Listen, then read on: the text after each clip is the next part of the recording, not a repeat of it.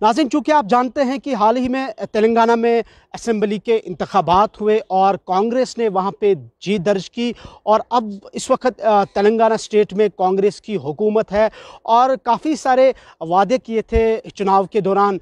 कांग्रेस की जो पार्टी है अपने चुनावी जलसों के दौरान और उनमें से एक ये भी उनका मंशूर था कि जो तेलंगाना स्टेट है, पूरी रियासत में जो बेल्ट शॉप्स है, यानी शराब की जो छोटी छोटी दुकानें हैं, उन्हें बंद कर दिया जाएगा पूरे स्टेट में। और इस सिलसिले में ए आर रेडी जो रिसेंटली बन चुके हैं, वहाँ चीफ मिनिस्टर वज़ी अला बन चुके हैं, उन्होंने एक्साइज डिपार्टमेंट की एक मीटिंग ली रिव्यू लिया और इस दौरान उन्होंने मुतल अहदेदारों को हिदायत दी कि वो पूरे स्टेट में जो छोटी छोटी शराब की दुकानें हैं, उन्हें बर्खास्त करें, उन्हें बंद करें।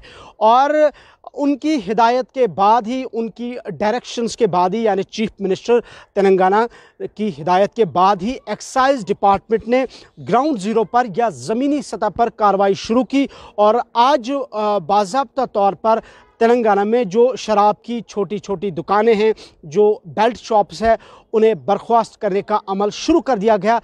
इन शराब की दुकानों को बंद करने का अमल जो है शुरू किया गया। ये कांग्रेस की नई सरकार है, तेलंगाना में इससे पहले बी आर एस की, वहाँ पे हुकूमत थी, मुसलसल तीन मरतबा वो जीते थे। लेकिन पहली मरतबा कांग्रेस तेलंगाना में पावर में आई है और उनका ये इंतबी मंशूर था।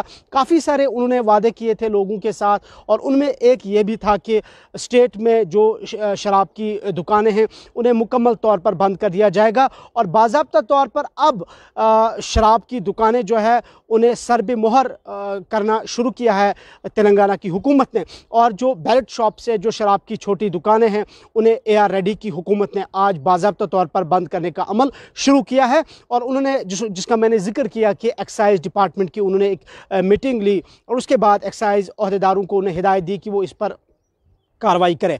कुल मिला के अगर तेलंगाना स्टेट की बात करें तो फिगर्स जो हमारे पास है रिपोर्ट्स के मुताबिक 2600 लाइसेंड शॉप्स है, इस वक्त वाइन शॉप्स है पूरे स्टेट में। यानी कि शराब की जो दुकानें हैं उनकी 2600 ऐसी दुकान है जिनने, जिनके पास परमिशन है या लाइसेंस है जो वहाँ पे शराब फ़रोख्त कर सकते हैं। कमिंग टू द कश्मीर अगर यहाँ की बात करें तो कश्मीर में आपको याद ही होगा कि हाल ही में जम्मू कश्मीर की गवर्नमेंट ने एक लोकेशंस को आइडेंटिफाई किया था, जिनमें से सड़सठ सिक्सटी सेवन कश्मीर के लिए, जबकि तिरासी लोकेशन जो थे एक सौ तिरासी जो थी टोटल लोकेशंस आइडेंटिफाई की गई और 116 जम्मू के लिए, जबकि सड़सठ सिक्सटी सेवन कश्मीर के लिए आइडेंटिफाई की गई थी फॉर वाइन सेल यानी शराब की सेल के लिए, कश्मीर के लिए सड़सठ सिक्सटी सेवन जगह मुकर की गई थी आइडेंटिफाई की गई थी और जम्मू के लिए 116 और टोटल एक सौ तिरासी थी।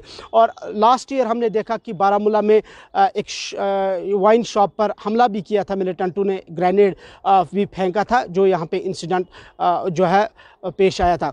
लेकिन जब कश्मीर में यहाँ शराब की दुकानों को ओपन करने की जो डायरेक्शंस मिली, जब लोकेशंस को आइडेंटिफाई किया गया तो उसके बाद यहाँ पर बड़े पैमाने पर अवामी सतह पर उस पर एहतजाज भी किया गया प्रोटेस्ट्स भी हमें देखने को मिले थे। लेकिन आज तेलंगाना में, तेलंगाना की कांग्रेस सरकार ने अपने इंतबी मंशूर पर अमल करते हुए छोटी जो शराब की दुकानें हैं, उन्हें सरब मोहर या उन्हें बर्खास्त करने का अमल शुरू किया है। और इस तरीके से हमने इससे पहले भी देखा था कि जो बिहार में नीतीश कुमार की हुकूमत है, उन्होंने भी स्टेट में काफ़ी सारी शराब की जो फ़रोख्त है या शराब की जो दुकानें हैं उन्हें बंद करने के अहकाम सादर किए थे, वहाँ पर भी बैन किया था। हालाँकि उसमें कुछ लाइसेंड जो वाइन शॉप से सेल करने की उन्हें परमिशन या इजाज़त मिली थी। ये एक अहम अपडेट था आज नेशनल सतह पर। आप देखते रहें कश्मीर न्यूज़ ब्यूरो। हमें दीजिए इजाज़त। अल्लाह हाफिज़।